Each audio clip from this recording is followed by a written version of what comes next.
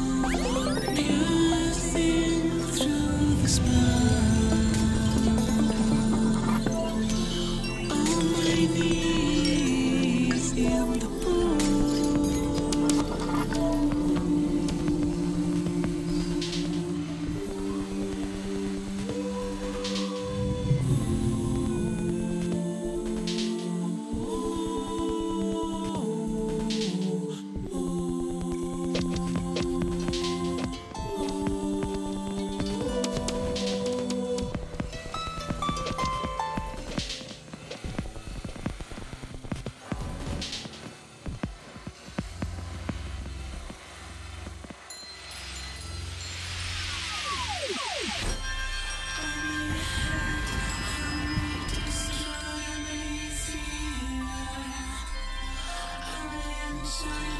made a great last for you